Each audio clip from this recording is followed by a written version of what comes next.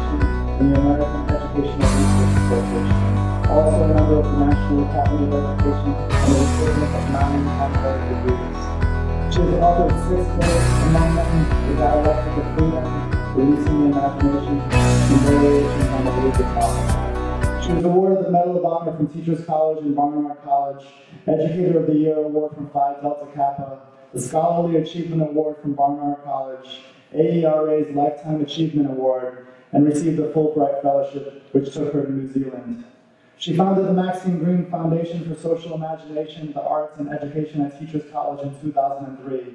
Most recently, she was a founding member and is current president of the Maxine Greene Center for Aesthetic Education and Social Imagination. Dr. Greene's dedication to aesthetic education stems in large part to her 25 plus years association with the Lincoln Center Institute, where she was formerly the philosopher in residence it is a great honor to have her kick this thing off that we will do um, moving forward from this day forth in, in, honor of the work that she's done. Please welcome Dr. Maxine Greene.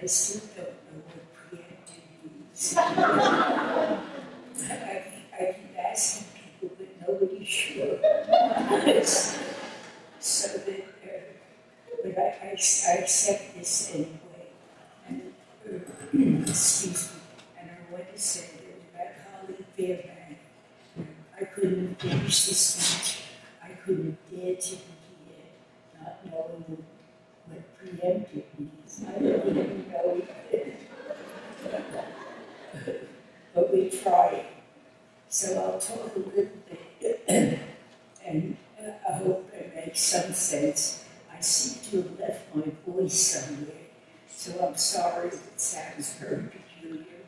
Uh, but it's very important for all of us to hear your voices and, and to get some notion of what is truth. The way you use words and phrases, rhythm, and emphasis on your words and how you have chosen to shape them in creating your own meanings. In, in, in that, choosing them, you have found the truth of who you are and how you perceive your world and what your voice sounds like in the fog that surrounds us all. You have listened to your own lived world, your own unique disease. And in doing so, you helped us hear ours. And that's something very wonderful and something that we're all grateful for. Your inner feelings, frequencies, and hopes, your descriptive experiences are more relevant than ever to those who live in the world differently than you do. Sorry. Poetry gives us the capacity to feel and empathize. It, it gives us the capacity to identify with others, to, to identify even with strangers. The uh, poetry gives us the capacity to feel and empathize, identify with others, as I said, in new but familiar we are not left alone. And, and we do not remain, if we do not remain aloof and untouched, poetry can do that. Poetry can overcome that aloofness, that apathy. Poetry gives us an agency to make changes in the world, not to sit in passivity and wait with agency, the sense of our own power, we have the power, the energy, the belief to access change once. Once, once you express yourselves as you know, you discuss the power, you discover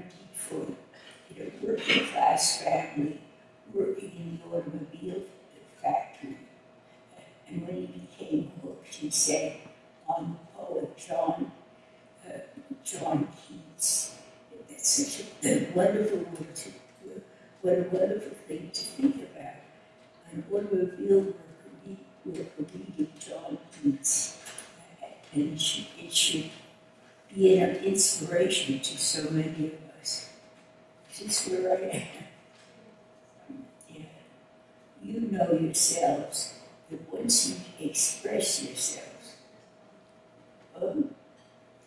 you know, she reminds me, I to go from there. She's talking about uh, the Philip Levine's life when he became hooked on John Keats and came to New York, and he wrote about his life in the city, his the world. This is a moment in the daily life of the world, a moment that will pass into, excuse me, a moment that will pass into the unwritten biography of your city or my city, unless it is frozen into the fine print of our eyes.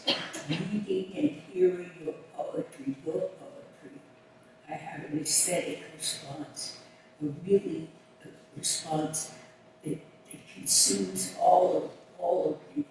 And I don't have to ask if that means you're going to publish in the best magazines. But whether you do or not, and no matter how long you have to wait, uh, you are going to arouse aesthetic responses in many people. I see and hear in the new ways that I haven't thought possible, partly because of you.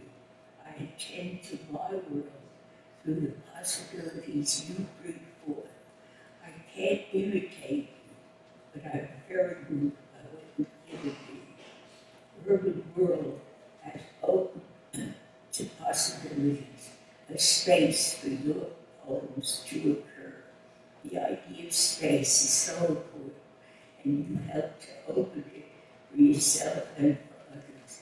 The phrase urban word invites us to attend to the urban experiences, the experiences we all have in the cities, by means of poetic language, a language that uses metaphor, uses words that go on beyond purely logical, didactic word, not only describes or evolves or suggests it opens us to the world in different ways.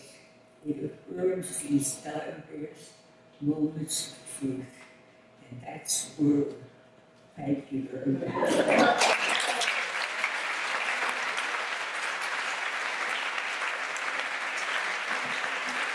That's word. Thank you, Maxine.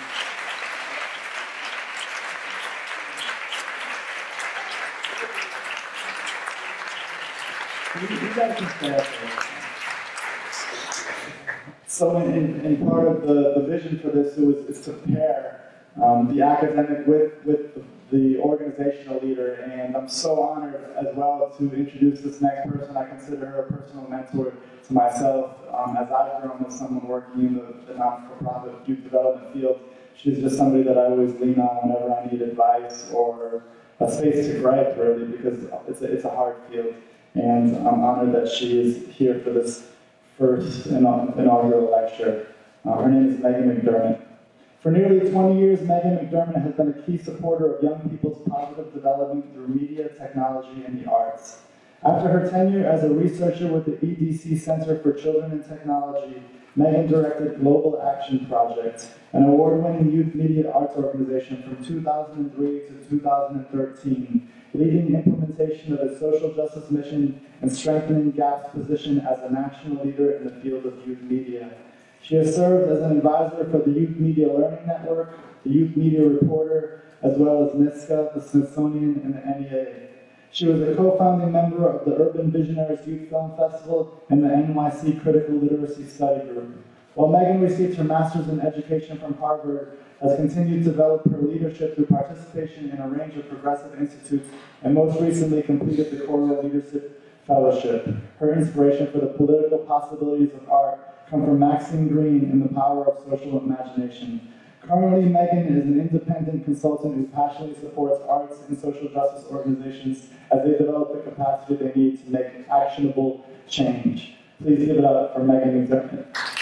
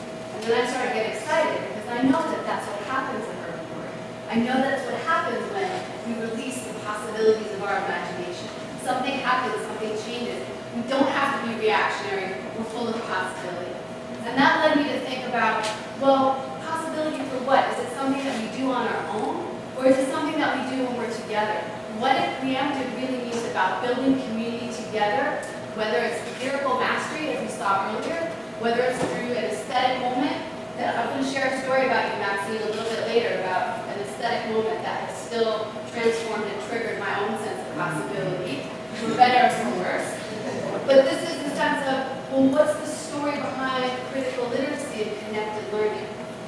Is preemptive about what kind of connection we want to have with each other. Is it about not being at the margin, but about moving to the center, or bringing the center to us through what we believe the rewrite of the narrative should look like? If connectivity is not just about a moment to connect with you, you, and you, but about the purpose of our connection, it doesn't matter whether it's digital or we're just having coffee right? Because it's towards something. So basically, I want to ask you to think about, as we move through the next few days of the conference, what preemptive means to you in relationship to a critical response that's not reactive, but that solidarity. What does it mean when connectivity is driven by purpose and possibility, and when you're in a panel that's being run by young people, or when you're in a moment of sharing with other teachers, and you're thinking about your classroom or your after-school space, or walking down the block next to church, a liquor store, a project. What happens for you in building a world that you want to be otherwise, right? What does that look like when we do it together? So this is my this is my moment of Maxine. So I'm born and raised in New York, and I've had the great privilege of being in this space when Maxine was teaching, um, just as a kid, because my dad used to be in the building. So I, I feel terribly spoiled about getting to be next to you right now. But being born and raised in New York, I had never gone to the Guggenheim. I kind of resented it. It was big, it was cold, It kind of looked like a toilet. so, starting this, being part of this organization, a woman named Jen Weiss, who some of you may know, who was part of um, part of Urban Word Community, and I, Jen convinced me, you've got to take a class with Maxine. So we're in Maxine's living room talking about the possibilities of aesthetics. What happens when you reflect? What happens when you take a risk and you open yourself up to an aesthetic moment? And I'm guarded. I don't know about all this. I don't know what this is. So she asks us to go to the Guggenheim and just walk. My first time ever, I go, go in, and I walk. And I get angry. And I get full of rage. I feel disassociated from what I'm looking at. I don't know what they're saying to me with that splatter. I don't know what I'm supposed to feel. I just feel like there's this conversation I can't be part of. And then leave with a sense of deep class. That fury opened up an aesthetic possibility for me that I didn't know could be otherwise. Because of those aesthetic transformative moments, they can be beautiful in the way that Maxine described tonight already through poetry and our empathy and what it arouses. And then there's are those moments of justice, you know what I'm saying? And when those aesthetic moments aren't just about framing this, but saying hmm, what has to be different. So in my rage, I left and said, well, what's my role? Role, I'm not an artist, but I'm going to be sure to create space in which young people who have a vision of possibility will do their best. And that was my aesthetic response that was transformative to a moment of anger because of the Guggenheim, but only made possible because of Maxine's invitation. So again, when we think about preemptive and we think about Maxine and the relationship to what connects us, think about what moves you in your moment, whether it's for better or for worse, don't shut it down. Stay with it and use it as a way to risk and reflect and think about what role you will play for the conference and beyond that's going to keep building aesthetic, political, social justice possibilities. So I'm just going to end it there.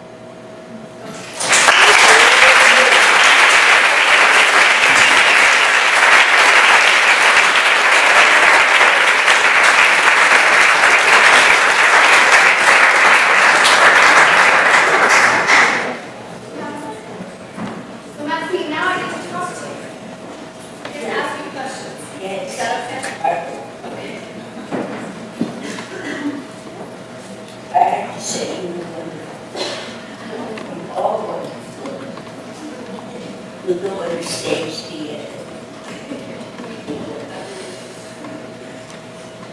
So I want to see what you think about,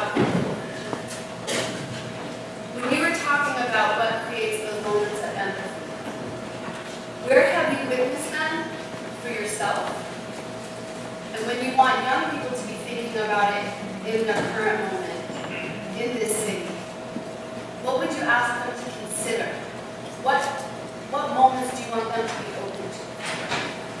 I want, I want them to be open to uh, the wonder of the person they pass in the park. I want them to be open to the possibility of any human being, any human being, wherever they come from.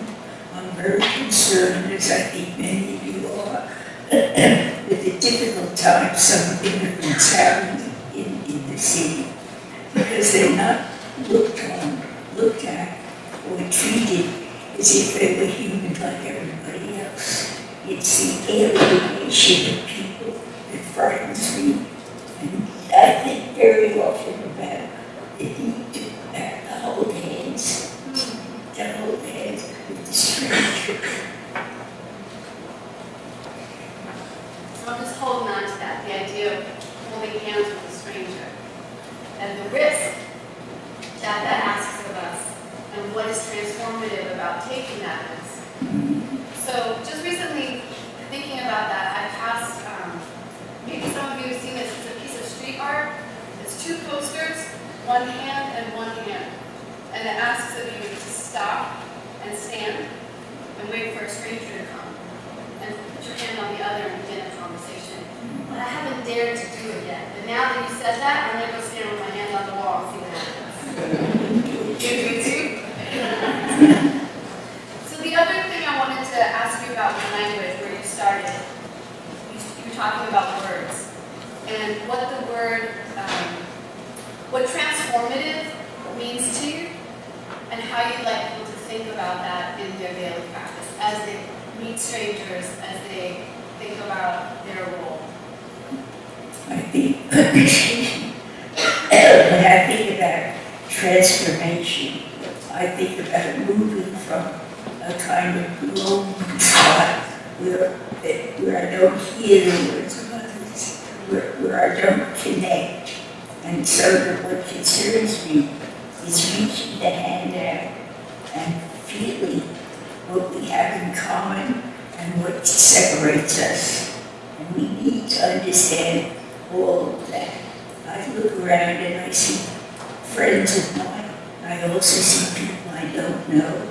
And I want to say, look me up the telephone book. We could have tea and crumpets sometime. But so, I want so much to reach across the distances that create strangers. And there will always be strangers. At the same time, we have to keep holding hands. I'm sorry for my voice. No, it's fine, I can hear you. So part of the challenge, right, to building that is also thinking about the role of power in our relationships. And what do we do when we want to actually change through our words, through our dance, through our visual images, that sense of what could be? Imagination, imagination has to do with possibility. What, what might be, what, we never settle for what is. We look for the, the possibility, we look for change, and you, you raise the idea of power. What do we do about power as it exists in our communities? We have to use our own energy, our own inner power. We have to come together to name the alienation, to, to name the unhappiness, to name the poverty, to name the, uh, what happens when you've never read a poem, when you've never read a novel, when you've never heard a dance. How could we fill those holes? And I think that's part of our job. Both educators and creators and allies. So I've gotten the privilege to ask Maxine some questions. I think Michael's down the time. Okay, so for folks, for all of you, please feel free to ask questions. And Holly's in the phone if Maxine can't hear, she may repeat the question. Here's your opportunity to also ask what's, what you're thinking about, what you're wrestling with, what you want to share. Don't be shy.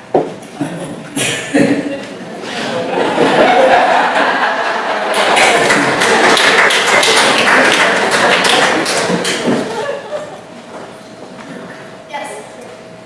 How do we possibly keep nurturing imagination and the power that we get from these wonderful release with a school system that only wants to test us?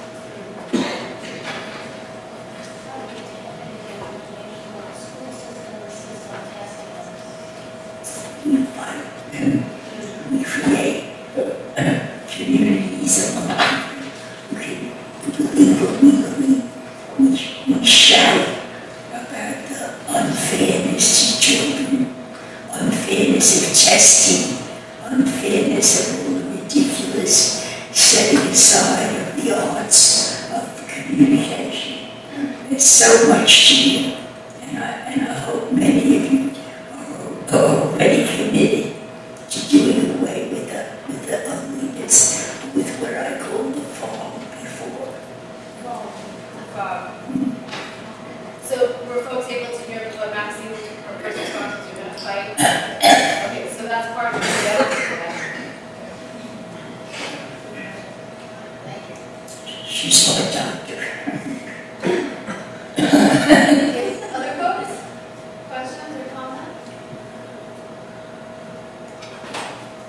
be shy.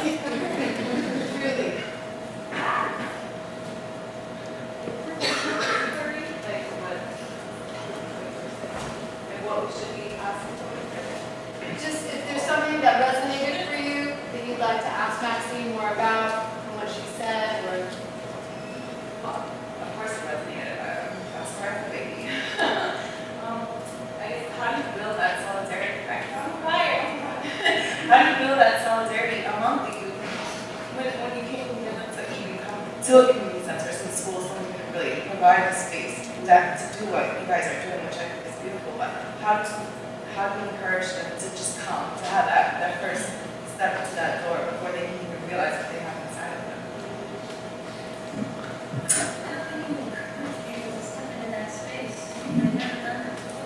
That's right.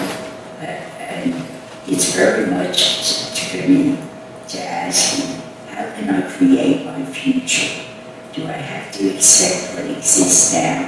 Do I have to accept uh, the idea of other people's faces? Can we, how, how do we identify ourselves as human beings who can step across the space to identify human beings who are different but who are full of possibility. Can art help with that, that stepping into the possibilities with people who may be uncomfortable in this space?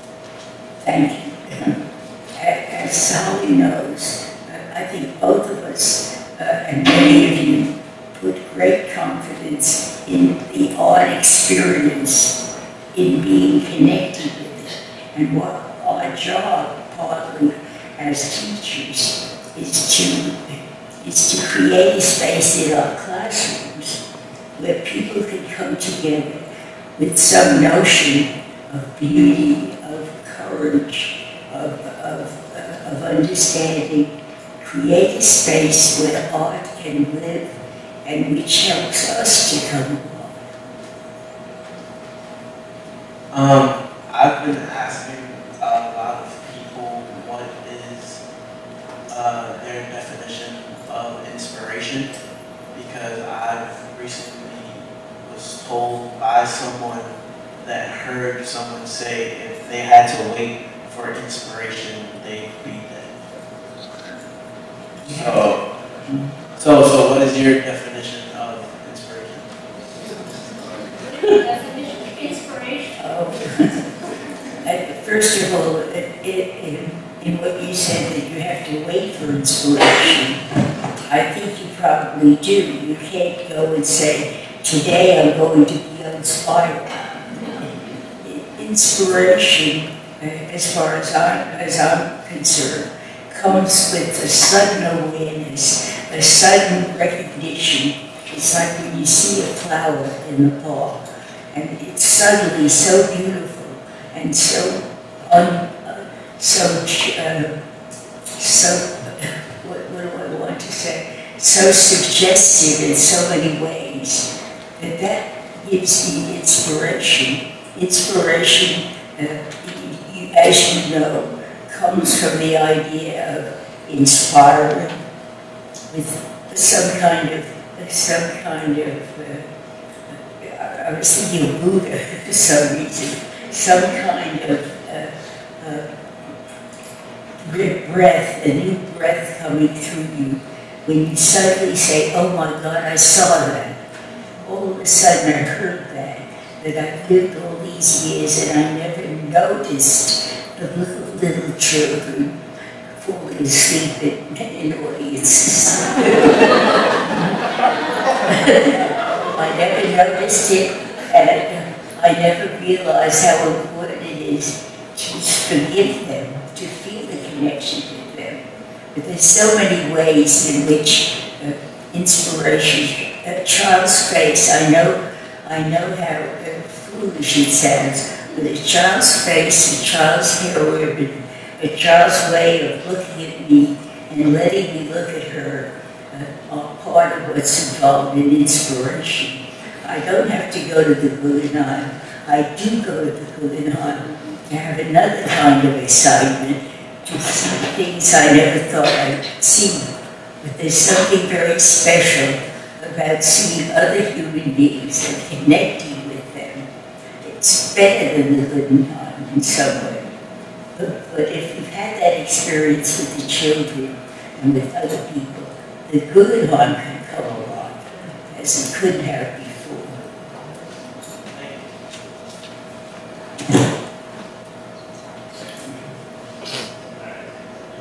Uh, I've been, I just started at Teachers College this past semester, so I've been thinking about my experience here so far. and, Like your idea of imagination and thinking about what could be otherwise. Really, like, one thing I've been thinking about a lot as well, because I've been thinking about how can I think about schools being otherwise, and how that's related to my experience learning here. And I'm thinking, um, how how can I how can I as a student make sure my experience here is one where I'm like imagining what is otherwise because I'm having a hard time I think sometimes. Um, because a lot of people, you know, we have 32 credits to fulfill and we have to get those done and I have required classes and I have books to read, but really like, I think what we need to be doing at Teachers College is exactly what you're saying is doing this imaginative process. Maybe we should be doing this. We should be writing poetry daily, something like that. Um, I'm wondering what you think about it.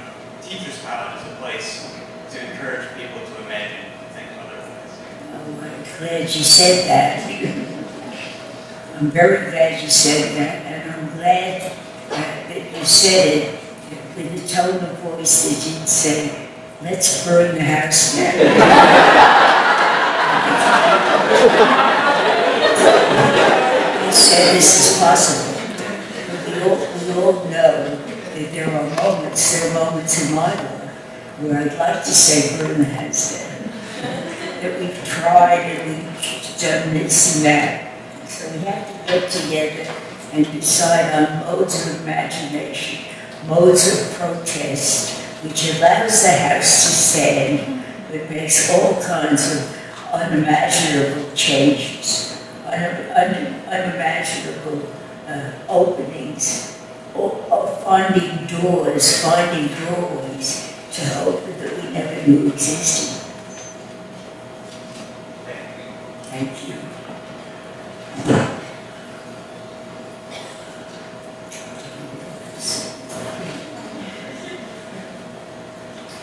Dr. Greene, thank you so much. You're absolutely living legend, and it's such an honor to be here tonight. It's a moment I know that none of us will forget. One of the really amazing things I think about the arts, arts plural, is their ability to forge and build relationships across significant difference. People who might not normally become friends do so, become friends, become collaborators because of because of the arts, because of uh, because of poetry, music, plays, paintings, whatever. And I was just wondering if you could speak to why it is, uh, just to, just speak to a little bit about what it is about the arts that ha- that that makes the arts be able to build relationships uh, between people that think of themselves as very different. What is it about the arts that can get us past uh, the differences that, that keep us separated? Uh, because I think that's one of the things that's so exciting about the arts is, is it can build relationships that previously were thought to be impossible, and therefore collaborations um, become possible because of the arts to challenge, to, to engage the challenges of, of our day. But what is it about the arts that, that helps to build these relationships across difference? What is it about the arts that help us to build, um, across our differences, But create conversation? That's what I thought, and, and I was very interested in your talking about relationship and connection with the arts, because the most fascinating experiences I've had uh, have come when I- when I've taken students or with people to the museum and asked them what did they see, what did they see in that Picasso, what did they see in the Cezanne, and they see different things. and they interpret differently. And it's the moment of, uh, when they, when they have an interpretation that's theirs, and they hear a different one, and they come together. Those are the moments that I appreciate. I certainly don't want people to see the same thing. I mean, I don't care if it's the Guernica or some other uh, great painting. Um, I don't want them to see exactly what I see. Each person has to see through his own eyes and his own dispositions. And one of the wonderful things for me about the arts, that they open to so many possibilities. They open so many doorways. There's no single interpretation of the Guernica or uh, another kind of great art. There's no way of saying this is what it means and sitting down. You can never say that. There are all kinds of possibilities. That place of multiple perspectives and, and perception opens us to ambiguity. Can you talk a little bit about that space of questioning and ambiguity? I welcome ambiguity because if you do not accept, I mean, it's ambiguous. I just, I hate fixed answers. I forget, I hate uh, when, when we have the questions answered and fixed. The reason I like the idea of ambiguity is because there's uncertainty, uncertainty and wonder, perhaps wonder. Me. Anything but fixing, anything but solidity, I, I'll accept. But there, there are people who are afraid of, of questions. They want the answers. I want the unanswered question. And I'm just gonna say, that makes me think of how John Dewey was very clear about the notion of models, Models should not exist. All we have is our opportunities to experiment and build together, Right. and that our learning happens in those social spaces, and as soon as someone thinks they have a model, or they have that answer, you need to run. You need to create that other space in which to experiment and be.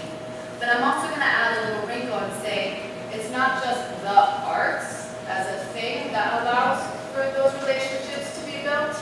It's what as practitioners, as activists, as young people, as justice makers, we want to do with the form. Good. Because I do think that the arts in and of themselves, like, could be anything, right? So it can reproduce power in ways that, that hold us back, or it can be a representational moment we can explode. But it's not the arts, it's what we are intentional, deliberative about, and then willing to risk on. And I think that's where we start to then do the community building that brings people in to those spaces and said, this is the place where you're gonna have to work to build trust, to create the purpose of whatever vision we make. And that's not easy to do. So I think we've got one more, is there time? Okay, last question. Um, we've come from Wales on a sort of fact-finding mission, so it's a privilege to go straight to the horse's mouth, not I'm calling you a horse. but we, we'd like to ask you now, looking forward to the whole conference, but if you can get the definitive answer in terms of what is the essential thing you, you think that we as educators of poetry need to get out, need to achieve with young people? What's the essence of that engagement between us, them? I agree with you. What's the essence of what we can get from the word? Oh, from from the the organization and The, the the words themselves. the word, what, what is this, what, So, so what is the essence that we need to take back as educators about using, in this case, poetry as the we want young people to experience. Yeah. I think you talked about it before, Yeah. just to recap. But it's so, uh, most people, I think most parents uh, are afraid of, of poetry, are afraid, like the father who wants his son to go in business. God forbid. Spends his time reading poetry on the subway. So we have to, we have to talk to people who have, who are insensitive uh, to what opens up for you when we face all these unanswerable questions and when we reach each other in relationships, many of the hardened people have, have no idea. And, and just to add to that, I, you know, I think it's also what you already do as poets. You love the word. You love the words being in relationship to the world, to shifting the world, and that reframing, that possibility, sharing that, not necessarily as like this is how it's done, but your love of that. I, I think that's also part of this question what's inspiring, and maybe that's there in minds that connect. I was thinking too of what you said before about finding the frequencies in themselves. Mm, Now, a teacher, is that what yeah. I'm very interested, and I'm sure you are, when I'm in a classroom, I want, I, want to connect with the young people in the class. I do not want to impose upon them some of my wonderful ideas. I, I, I want, I want to wait and see if at some point in the class, there's a kind of electrical current that connects, that connects you and the student in the class without my attempting to impose and without his attempting to crawl and look at me, I'm a smart kid. So on, on that powerful note, we're going to end the conversation with Maxine. And just thank you, all of you, so much for being here to be part of the dialogue with Maxine. Maxine, thank you. Thank you, Megan, Maxine, also to Holly for her help. It's an incredible way to pick up the Maxine very much appreciated. So we're going to close the space with a poem, and then I'm going to welcome Jamila up for next steps. Just uh, to recap, though, tomorrow night at the Kimmel Center, there will be the performance and panel with uh, three incredible scholars, um, Dr. Valerie Kinloch, Dr. David Stovall, and Luala Cabral, and they'll all be paired with uh, urban word poets, and they'll be respondents to those poems. Saturday at the Silver Center at NYU, there'll be the Professional Development Day, and then Sunday at El Puente. So go on our website if you haven't already, and uh, come come check us out this weekend. Um, to close with the poem, I, I want to welcome up two poets. Um, they're going to do a group piece. Um, Gabriel Ramirez is a 19-year-old poet and humanitarian. His art has blessed him with being the 2012 Knicks Poetry Slam and 2013 National Youth Poetry Slam champion. Gabriel's dedicated.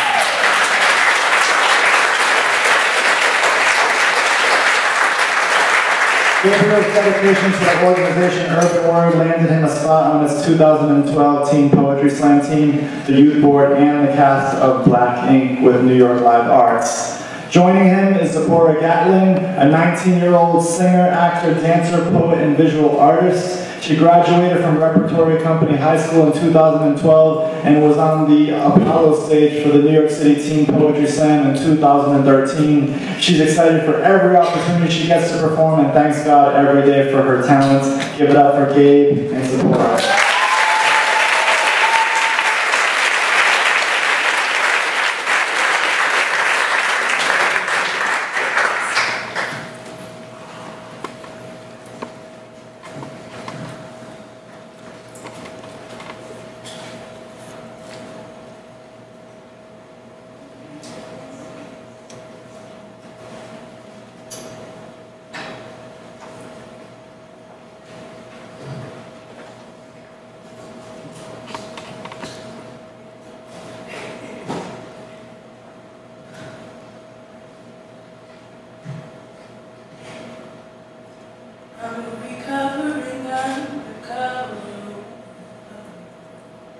When women question your kindness, forgive her flesh. For it is young, and she lives her life an old, broken woman with cats. Her wedding band walked back from her husband's hooker and a dead mime, trying to lasso her to the grave when women question your kindness. Understand. Magician men have made a disappearing act of her smile and rather tricked the virginity out of her. Wanted was to be the car that made people question the air they breathe. He called her magic. She still can't believe it when women question her kindness. It is because you look like the boy who raped her daughter. You smell like her fifth husband who raped her daughter. It's nothing personal. Women question her kindness. Make her feel worthy of her own skin again. When women question their kindness, give her a reason to straighten her question mark spine into an exclamation point. Remind her that mirrors are just there to show, not to explain. Replace her eyes with moon craters so she will understand the depth of her own beauty and that you love her so much. You will make her a bowl of cereal every morning. From scratch. Women, question your kindness. Demonstrate what a man is without using your penis. Breathe in all of her hell. Melt the masculinity. This will not make you a woman. This will make you understand. Don't become a mess. That'd be a turn off. And she's been cleaning all of her life. Women, question your kindness. Check her pulse. Kiss the maggots to make the host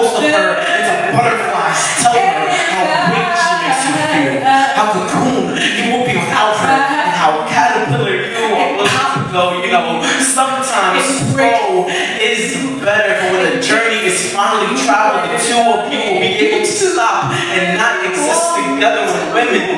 Question my kindness. I ask, who is the axe?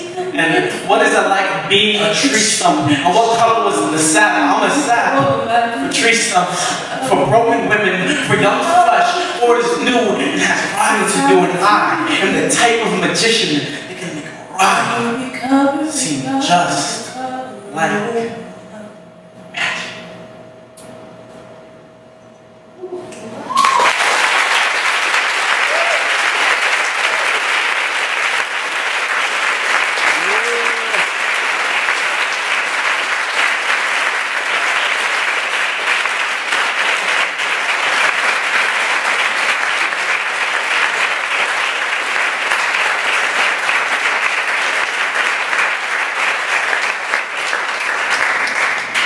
So we want to thank you all again uh, for beginning with us on this very powerful night.